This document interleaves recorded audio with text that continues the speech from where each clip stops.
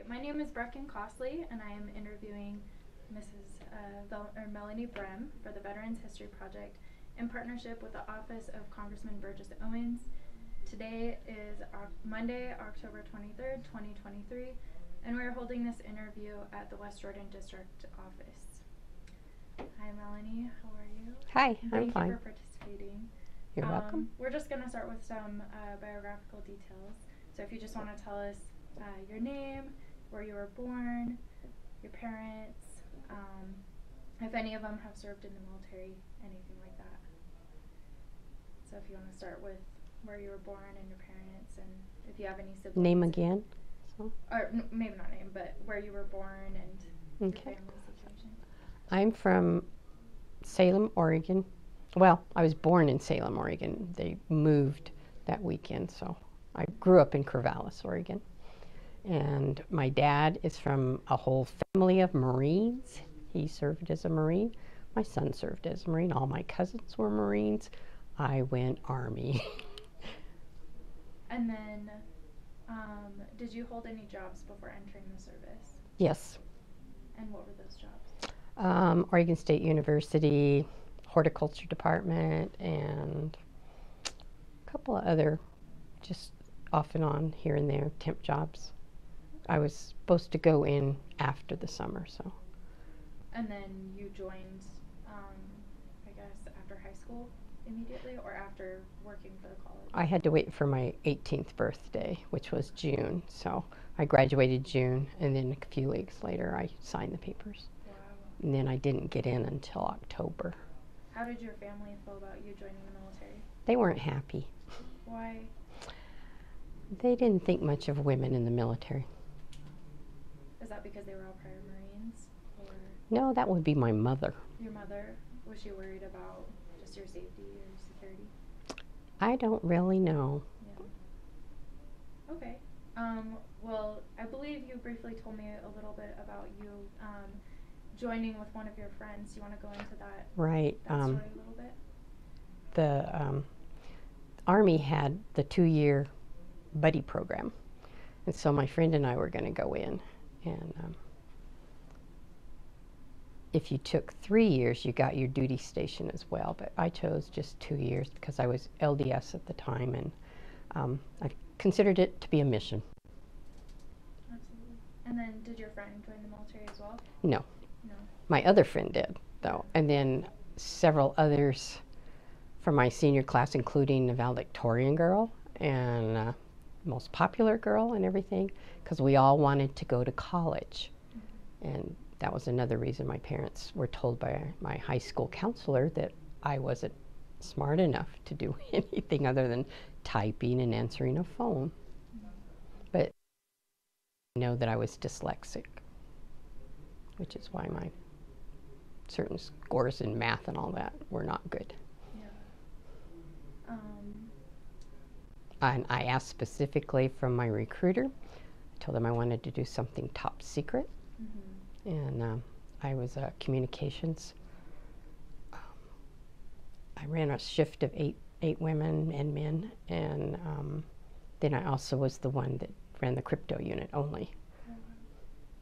And so, after going through basic training and stuff, what was tech school like for for crypto and communications and stuff like that? Crypto I didn't learn till I got to Germany. But um, we just did the all the other well i did have to learn the morse codes and all the different codes and things but other than that everything was on the job more or less Yeah. And what year did you join the military? um, that would have been 1974 And then, what time did you leave, or what date did you leave? um, again october 74 or 76 sorry Adjust the camera slightly. We just want to have a few different angles on the camera, just so it changes the quality a little bit. No, it's not all one shot. Okay. What was your most vivid memory of your time in training or in school? What was the best part? What was the worst part? the best part of training Either basic training or tech training. i would say basic training was a lot of fun to me i mean to me it was easy it was like going to camp and, and when I was a kid, and uh, everybody else was having a hard time getting their hair up right or making sure they didn't have a wrinkle or you know whatever it was they asked of us. It was simple and easy to do, and they just couldn't seem to get it straight. So that I thought it was kind of funny, but I don't know. It was fun for me. What about the worst part? The worst part that would have been the AIT school And why is that? um, because I was assaulted. I'm so sorry. I'm sorry. I don't. We can stop the interview if you want, or know, I spent all weekend trying to let myself let it go. Um, that's called shadow work, and uh, I have a life coach that's helping me with that. And um, I can say honestly, the VA has made everything worse. They just kept, you know, making it worse instead of better. And that was one of the reasons I didn't want to do anything in a group. Um, as a part of um, your uh, assignments, uh, what was the first assignment after basic training, or after tech Um, my one and only assignment was in Germany, in Germany? Pirmasens, Germany, on the Alsace-Lorraine French border. And how many other people were at that location? Uh, Husterhöh Kaserne, 267th Signal Company, probably 150 people that I was aware of. There might have been others. It was half German on one side, and and U.S. was renting the other side. Oh wow. What kinds of friendship or um, camaraderie did you form while serving, and with whom? Well, Mary Jo went through with me from boot camp, AIT school, and we were roommates in Germany. Um, and then I made a couple of friends that were in other departments, just whatever. And one of those girls was raped. She was she worked for the colonel, the base base post officer, and um, she got out. She got beat up really bad. So then nobody could go out when you get off of work. It's usually very dark, and um, we couldn't go out anywhere unless we were escorted from that point on. The so last, what did you do, I guess, for recreation when you were off duty? I was never off duty. Um, we had terrorist alert, terrorist attack. People were being killed from Munich on up, and they had just got the guys over in Zweibrücken, um, which was, I think, less than 20 miles away. And um, I was on my way to do a church conference at midnight, get off, so I had to do the last um, flash traffic of top secret stuff and get that all done. And um, the guy that was replacing me was late, so I was actually late leaving. And um, my bus was supposed to be there at midnight, and they were supposed to sit and wait because they knew I might be late. And uh, I went to leave finally, and um, something hit me.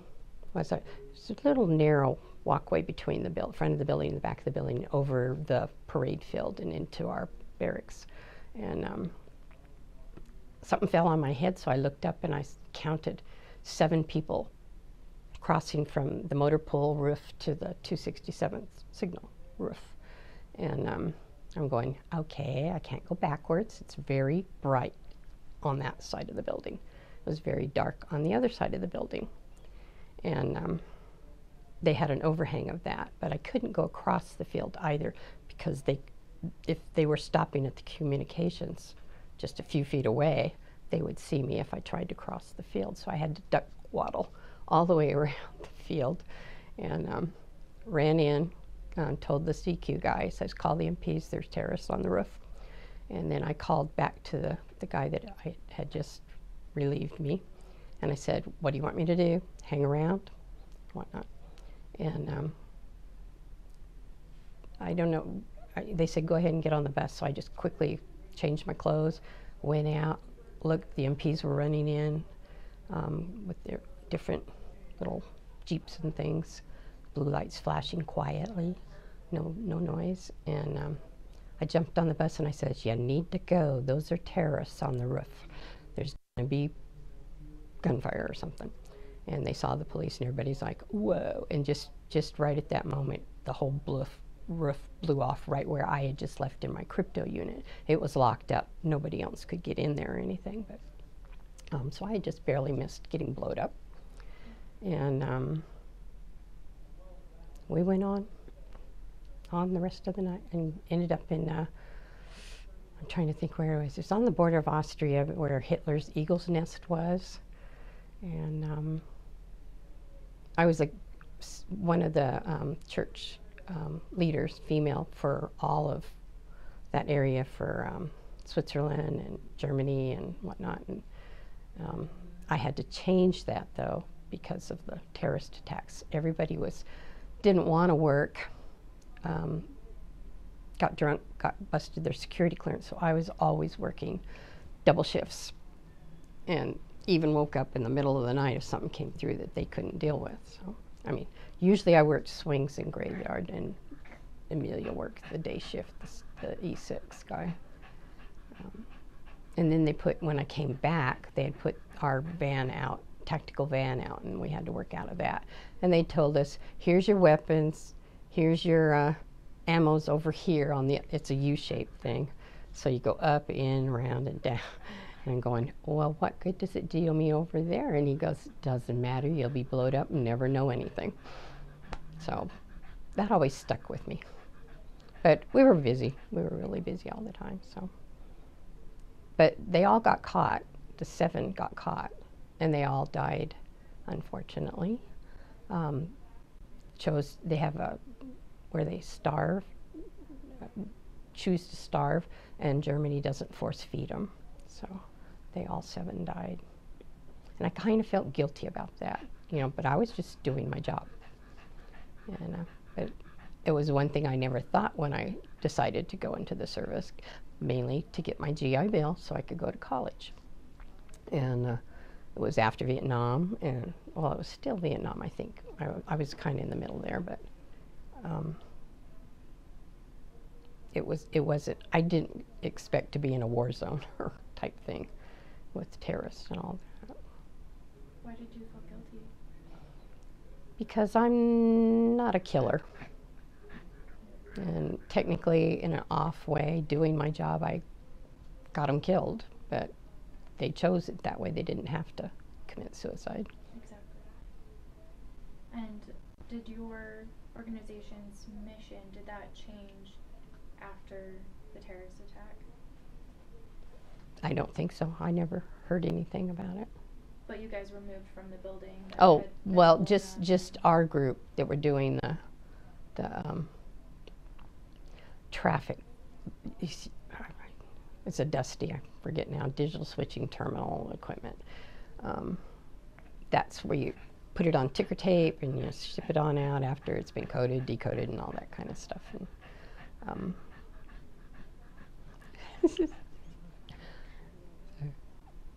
must be really hard. Um, I don't know. It it lasted from fall until spring. I remember it ended in the spring, and uh, I had my brother had gotten married in the fall, and I couldn't go because of my security clearance. I couldn't go to a lot of places in there, so I didn't get to go like to Holland or any of the little. I like to travel, so I wanted. And Mary, Jo- I can understand how she got to go. So, and anyhow, and um, I met for um, host the nation educational thing. He was from France, um, going to Paris, and he invited me to his wedding. He, we met on the train. I was going up to do a church. Um, I don't remember now what it was, some kind of church function, and uh, in Munich or in uh, Heidelberg, Heidelberg, and uh, so, so I was writing, and it turned out it was the Paris West train, which is, you know, Murder on the Orient Express and all that. Which I'm a big movie person, so you know I like to see places and go places I've seen on TV, for real, and meet people. And I met a lot of uh, uh, German people. Um, the um, they have like oh, I, get mixed up. I go move my brain around. um, anyhow, so I, I went up there and I was on the train and he came in and, and I had taken French in high school and he, he said something about keep her, something like that. And that wasn't any of the words in my vocabulary. you I'm thinking, he said something about lowering the window and, and, and Fermi, uh, would you mind?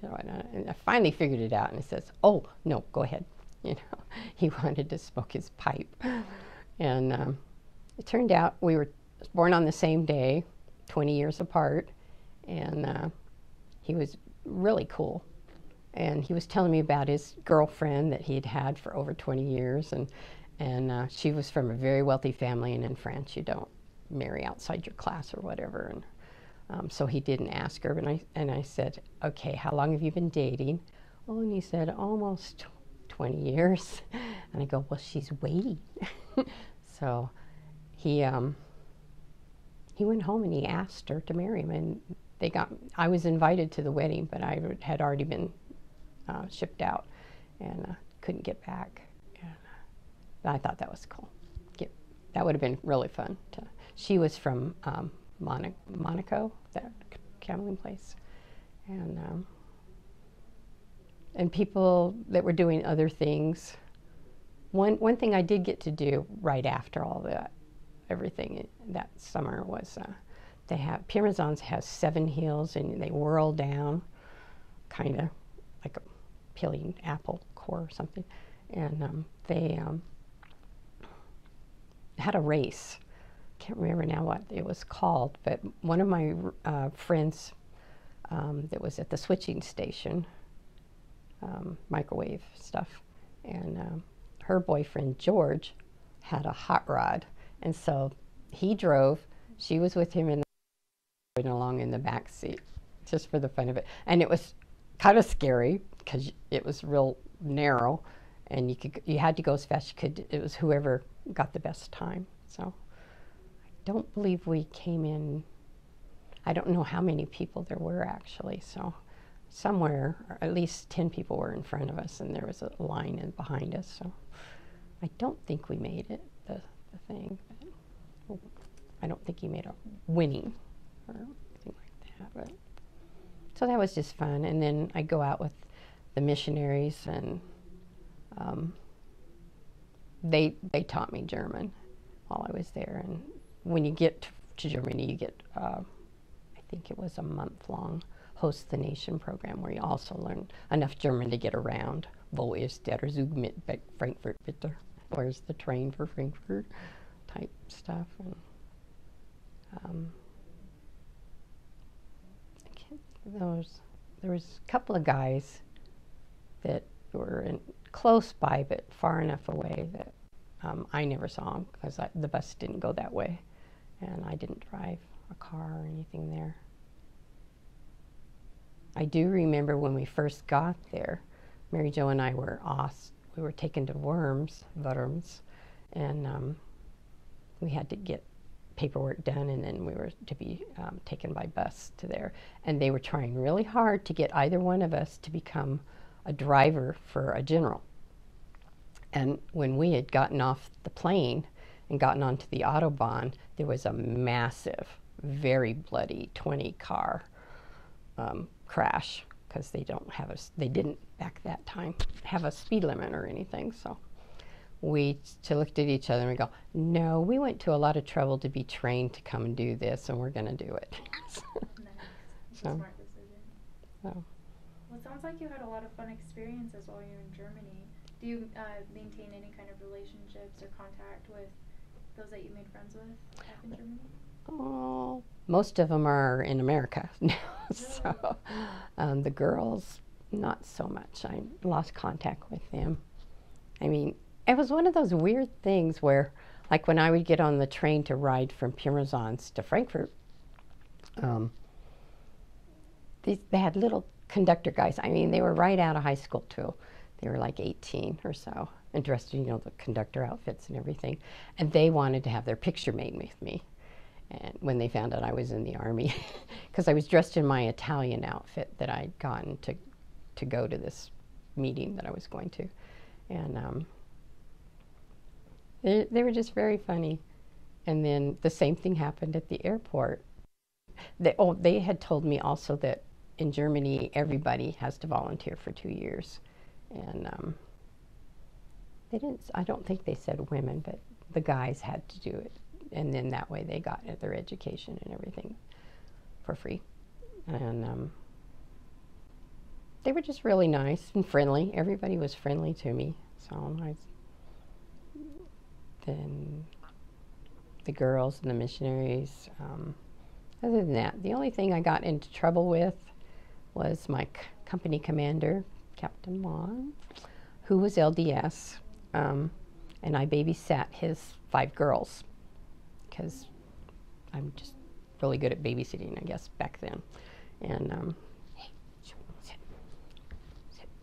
And uh, one of the girls got jealous for some reason because she goes, Why are you always going to his house? And I go, Well, I'm babysitting for him. It's a job.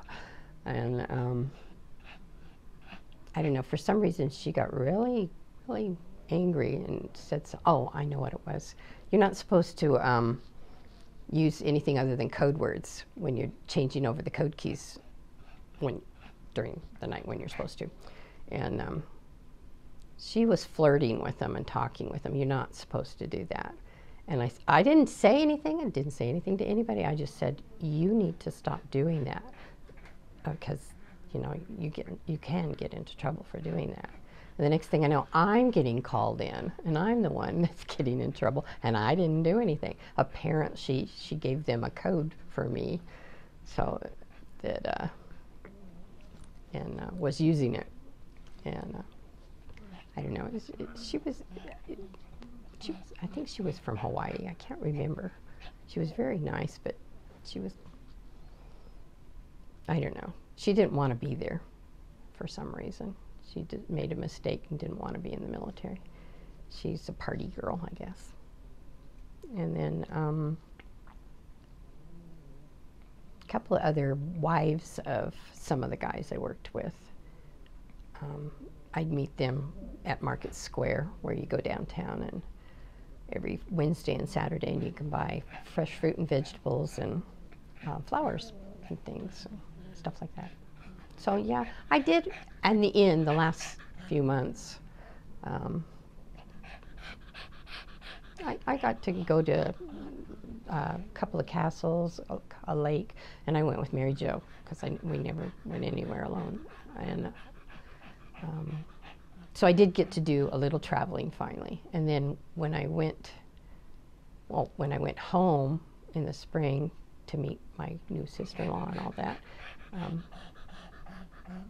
something about the Concorde was coming down, and that was the first time I'd ever seen it. We landed in Paris at the same time, type thing, and that was pretty cool. So I had gotten a passport, and I wanted to stamp my passport, but we were supposed to be in civilian clothes, not have our dog tags out or anything like that, and use our passports.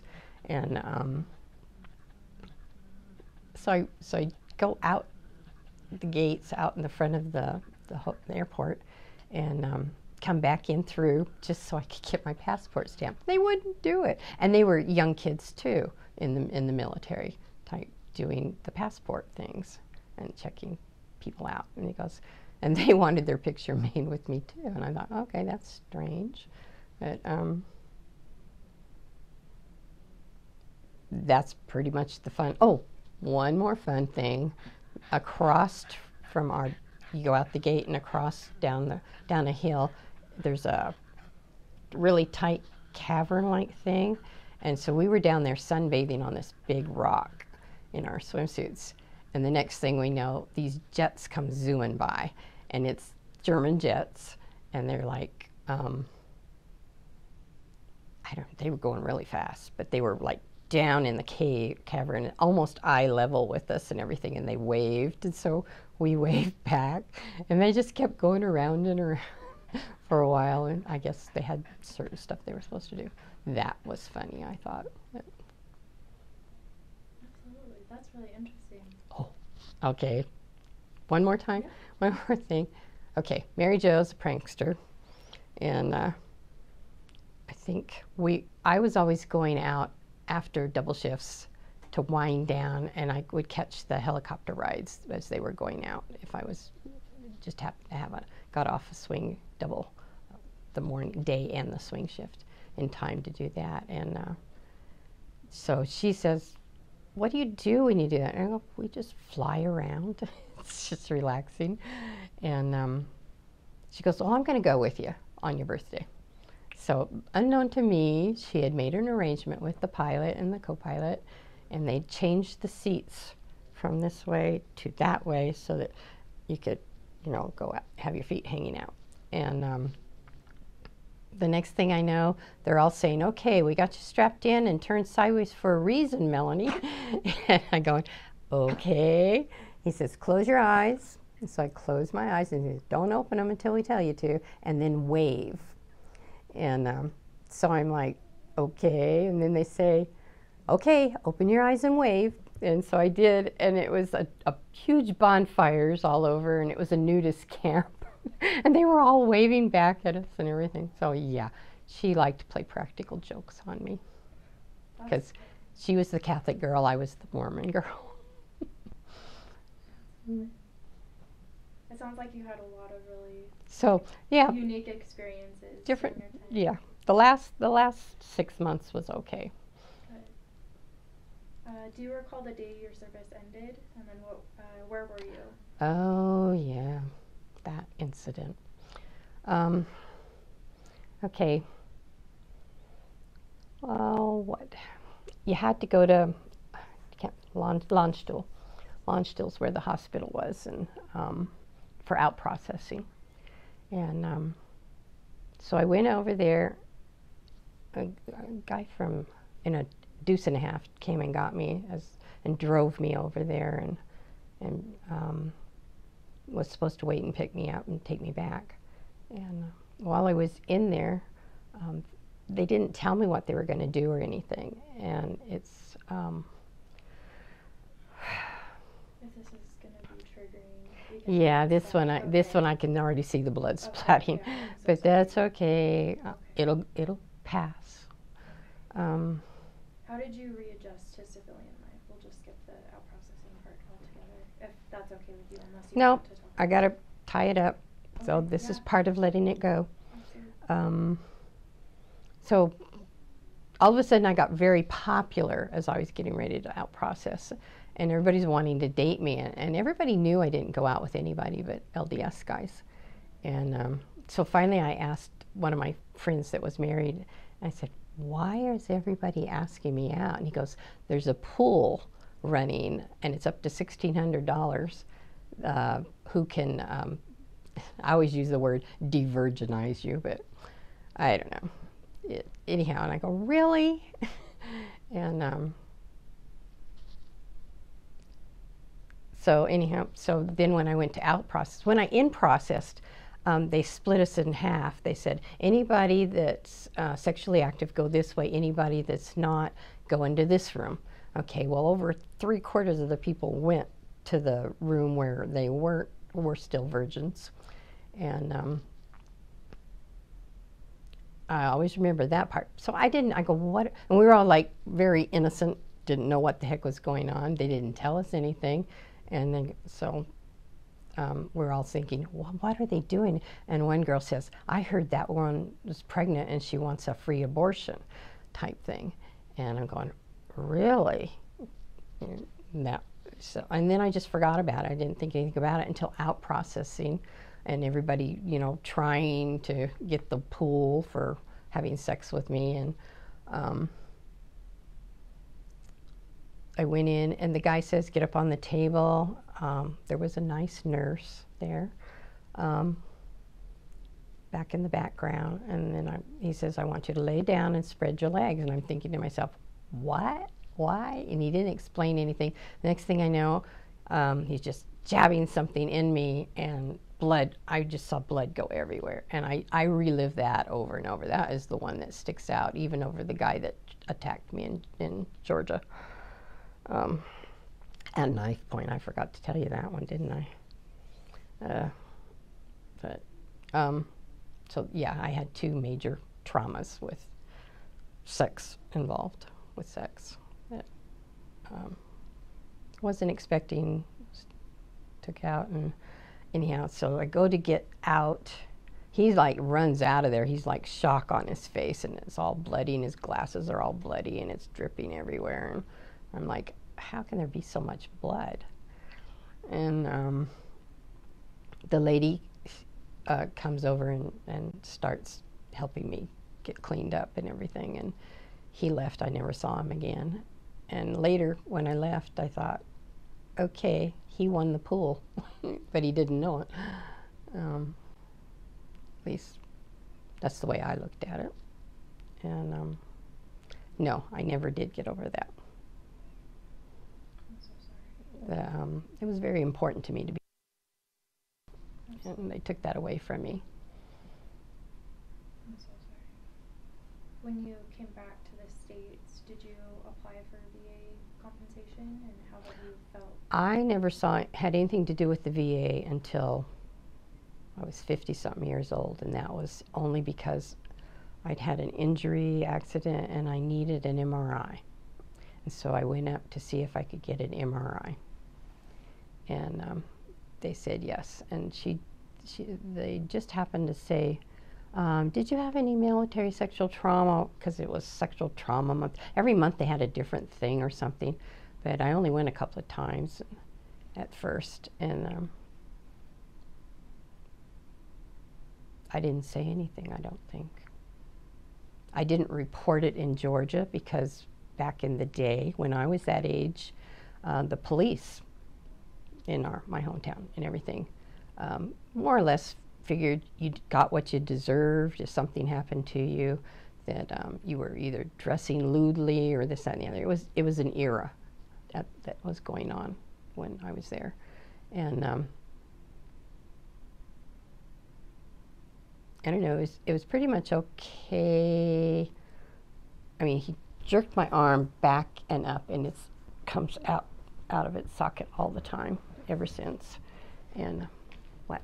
Okay.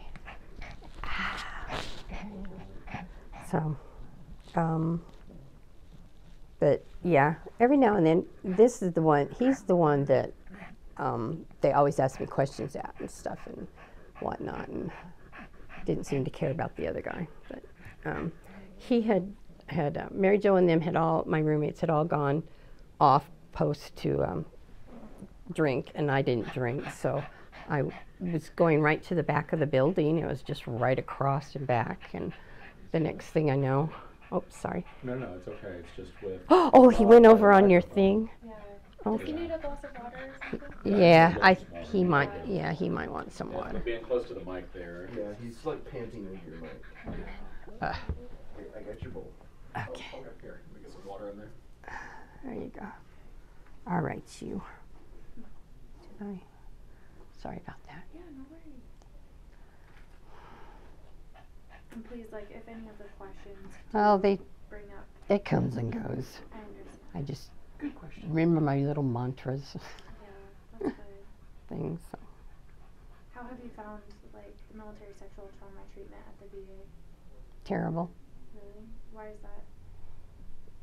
They just made me angrier and angrier, and they kept wanting me to be in group things and like it's a group thing. I go, rape is a violent thing. It's not a sexual thing. It's got some guy's got an issue with a woman, and he's, you know, There we go, buddy. beating her up and taking it. Yeah, there you go. There you go. Say no. Yeah, we'll get around to it. Okay, we'll leave you down there. Okay, lay down, maybe. So with that. uh, since Oh, he'll go we- with- We may wanna try some of those questions again, just to Okay. make sure that we get the good audio there. Yeah, absolutely. Okay. Now I lost track. I, I my brain goes. Yeah. No, It's it afternoon. So when you, just like when you left the military and stuff, um, did you find readjusting to civilian life easy? Was it hard? I put it all out of my mind and buried it.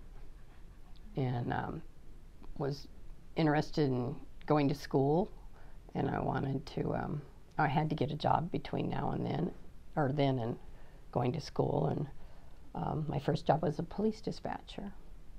and then a couple of more temporary jobs and things until I, I ended up turned around. I turned out I married um, an LDS guy that um, that um, he he um oh, what was it? He was the only guy that wrote me while I was in the service. Now that I think about it, but I didn't realize that he had other things in mind. But I figured nobody else is going to marry me. I'm, you know, what do you call the word? Damaged goods, whatever the way church people put it. And then um, the other people. Oh, there was one guy that I went met in Austria that was in the Air Force, and he had said, um, I told him about him harassing me, wanting, you know, just to do that. And he goes, Well, if for any reason, any reason at all, because he, he, he wanted to date me, and we lived way far apart in, in the country and, and stuff. So I said, Well, um, and I thought of him as a friend, so I, it wasn't an option. But um, anyhow, the other guy was uh, just using me because I had a, a good paying job, and he quit his job but didn't tell me that. And he like, I signed my paychecks because I always worked graveyard jobs. Go figure. I guess I got used to it in the army, and um, so she, he's, uh, he says, just put them in the door or whatever, and um, so I'd sign my check, paycheck over, and he'd take it and party on it, and. Um, you okay, baby? Don't drink. Don't drink so He fast. fast. Yeah, he drink. He's got a trachea problem, so he's yeah, he'll stop. Go. He usually stays with Wes. Go hang out. Um, let's see what else. Anyhow, oh, so he wanted. He lied to me and wanted to. Um, I don't know. He he he somehow just asked did I want to get married? And I'm going, I want to go to school. and um, he says, Well, you can do both. We can go there together. I don't know. But for some reason, it stuck in my head. Well, that's one way to get over the stigma in the LDS church. And um, I don't know. We, we got married on January 29th. 1977 and divorced. I filed for a divorce March, St. Patrick's Day, March 77. And then I met my son's dad later. I, I, and I was, I was, I don't know what the word is to call that. That's when everything started catching up to me, and, and I'm going, you know, I'm not even good enough for him, type thing. And um, my self-esteem just plummeted big time, and I just I got to where I was um, depressed and suicidal, and and actually that happened. I did write a suicide note before I left the when I was just before I left the army. I can't remember now what happened, but it was right after seeing that doctor, I believe and um, and I, I I wasn't all that up on how you killed yourself type thing, and um, I had a huge bottle of aspirin or something. I just you know didn't know, and so I took it, wrote a note, and uh, didn't expect to wake up. I woke up though and had the best sleep ever. So I remember that, and then I forgot all that again, and um, then I got out and the marriage and everything, and it stopped, brought it, started bringing things back. And um,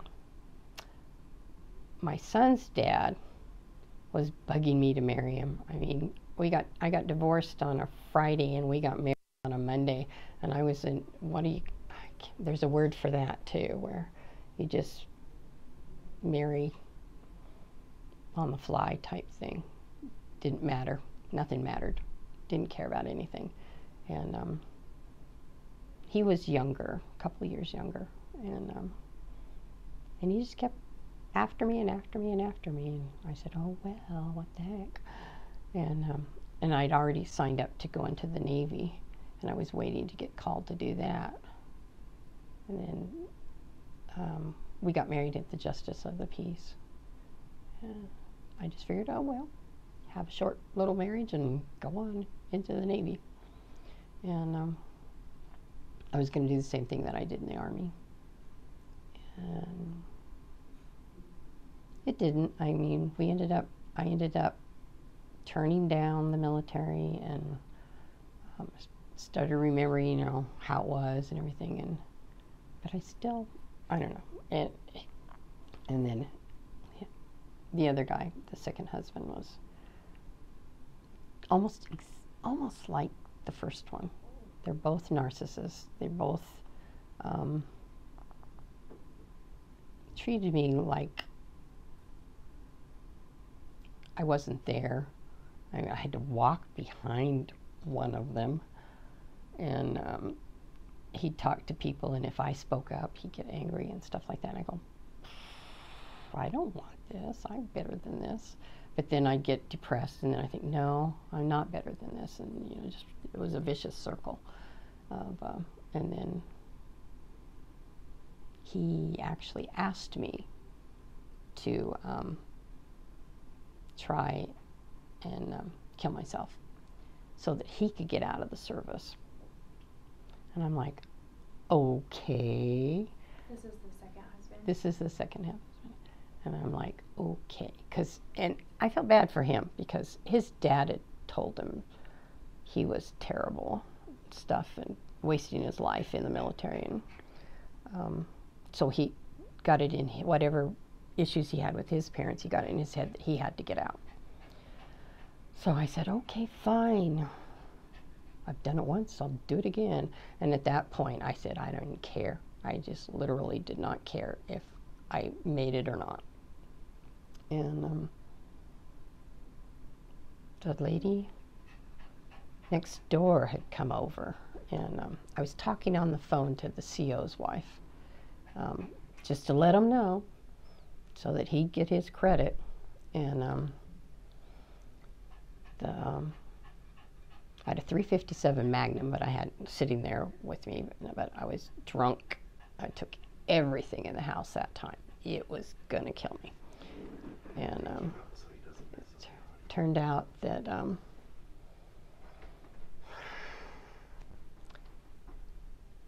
I don't know. This LeMay, his name was LeMay, Commander LeMay the ship. He, his wife, came out with whoever she called, and they revived me enough to get me in the vehicle and.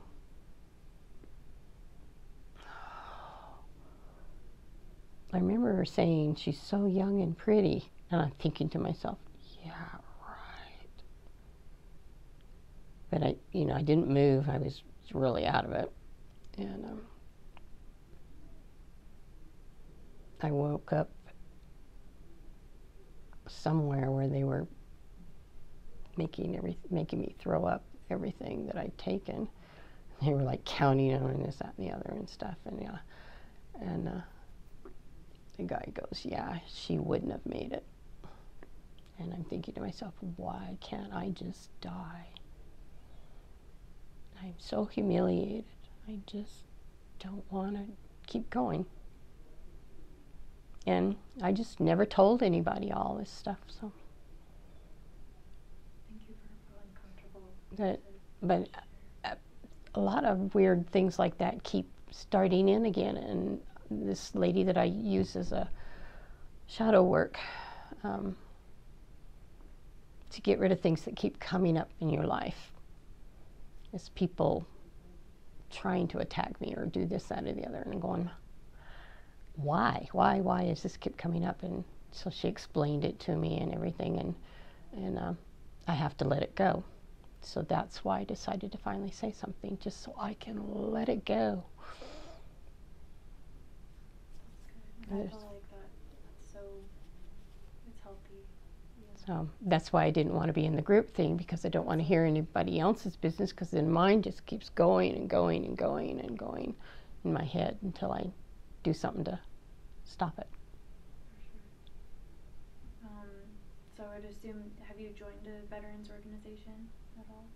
Mm, organization? Yeah, like uh, American Legion, Veterans of Foreign Wars, Disabled American Veterans. The DAV sent me something in the mail because they were the ones that went to my hearing. But um, just like other people wanting money, and I didn't have money. So How, um, what are some of the like more positive life lessons that you've learned from your military service? We've kind of we've gone over unfortunately the traumas that you endured, but maybe to end on like a more positive note, so you feel like it wasn't, you know. Well, it, it wasn't a total loss. It was like a yo-yo or um, something, just a kaleidoscope, just happy doing this, working, d- literally working myself out. Um, I felt proud of the work I did. Um, I just wondered why everybody kept bothering me the way they were, um, humiliating me or attacking me or whatnot. And, um,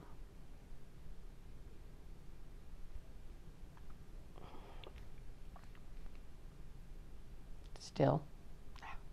Bright lights. Sorry. Um, happier things. I did. I did meet a few nice people. I did get to go to Europe. Did get to go to a castle. Went to a, a dig site for our French border. Um, the missionaries went with us because, oddly enough, they have Hochdeutsch, the borderline, border slang. So we had a little bit of German, and I had a little bit of French. and the, the missionaries ended up speaking German with them very fluently and stuff. Uh, But Mary Jo took me there for, because I always had, at home, I always had Chinese for my uh, food at, with my family for my birthday every year without fail. And um, I told her that, and so she surprised me with that. And they, uh, my friend um, John, that was my counterpart for church stuff again, I was able to start doing some of my stuff.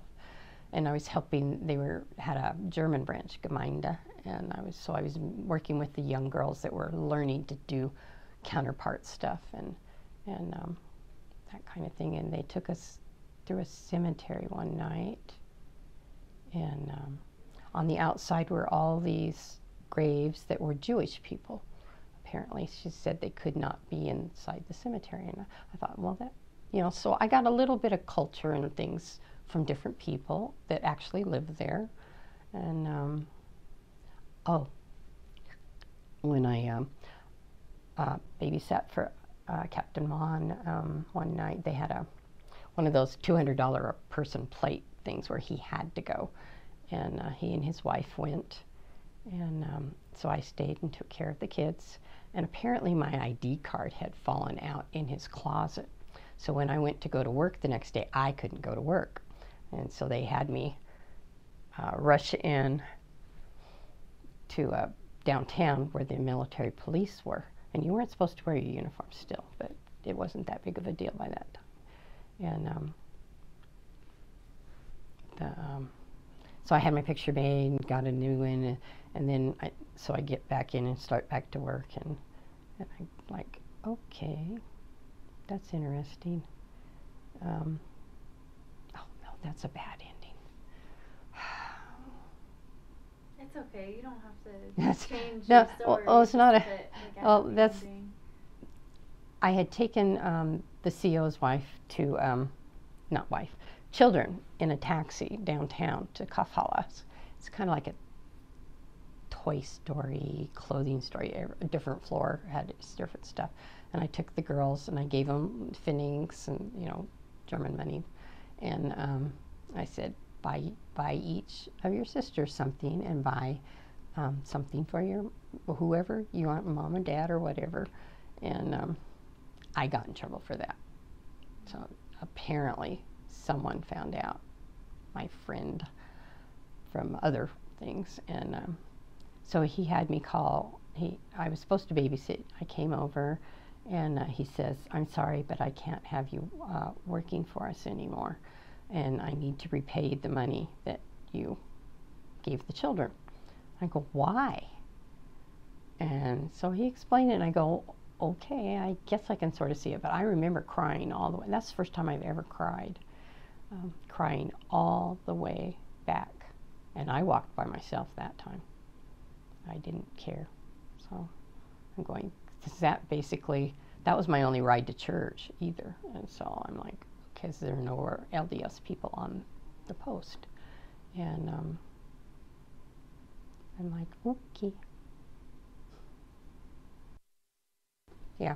So anyhow, got my ID and I got sidetracked. Um, I went to get on the bus, and um, this little old lady, German lady, starts screaming and throwing, gonna hit me with her umbrella, I think it was, and and I'm like, only picking out a few words, and the two women that were with her said um, she lost her husband and all her ch- sons in the war, World War II, and uh, and I wrote a poem about that later, and it was published.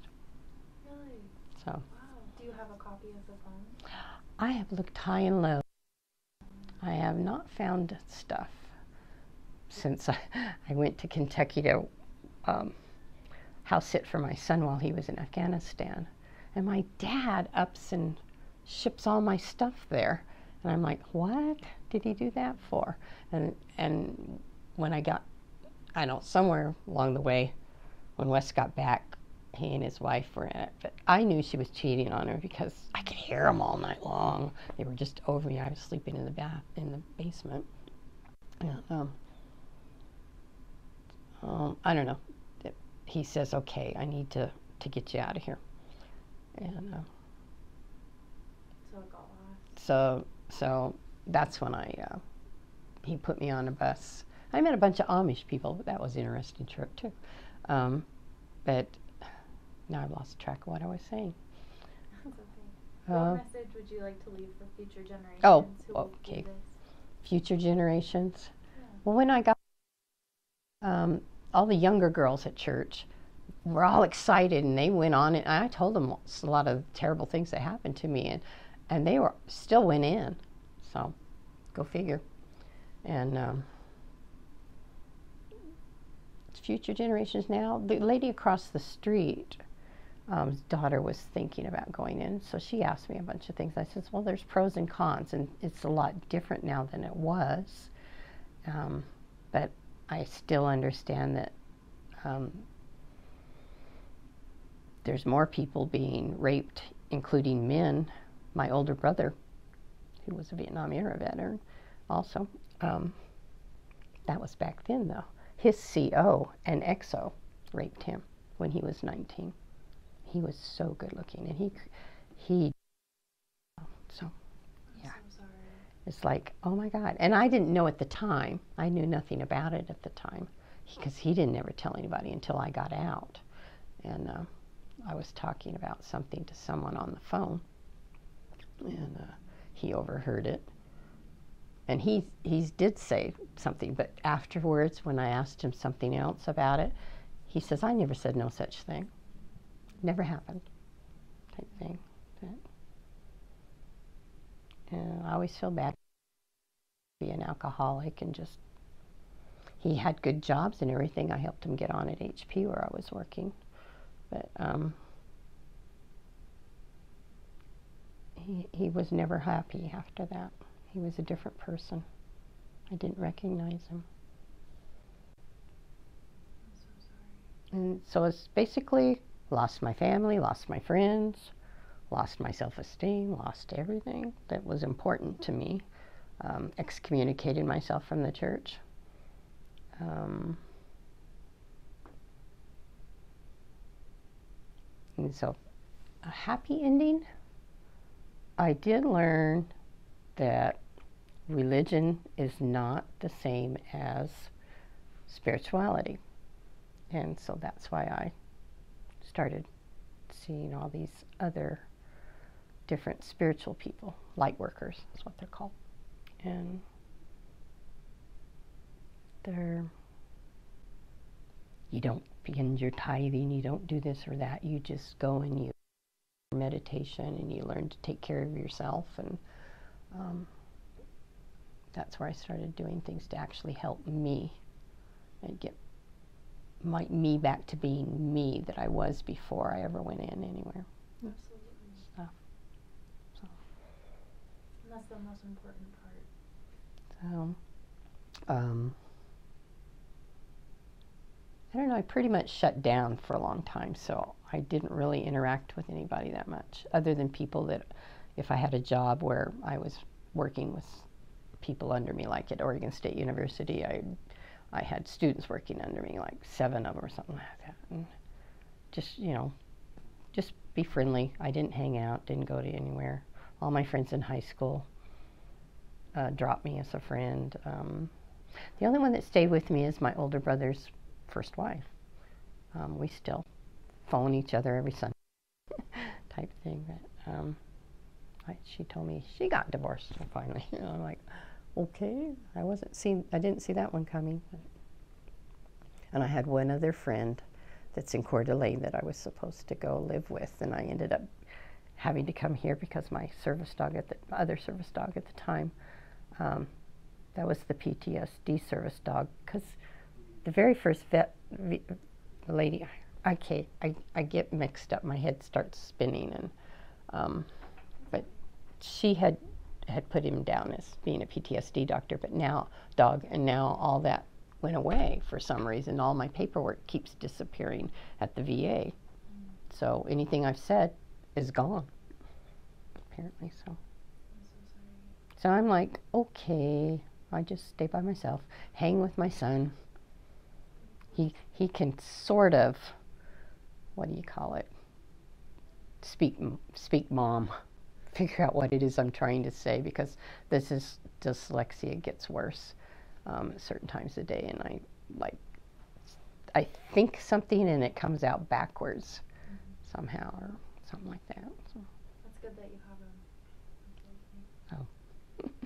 well, we're just about out of time, but I just wanted to ask, or just first off, thank you so much for your military service, and thank you for sh- willing be willing to share with us today about your military. Is there anything else that you'd like to add before we wrap up the Veterans History Project? Um, no, it, it's a process. Apparently, it's a journey that I was meant to take. I don't know if I believe that so much, but that's the way they they tell it like that. Is you had certain things you're supposed to learn when you come to Earth and live, do your journey, and I really don't know about that. So, but other things I think are okay. I mean, I look back at it now.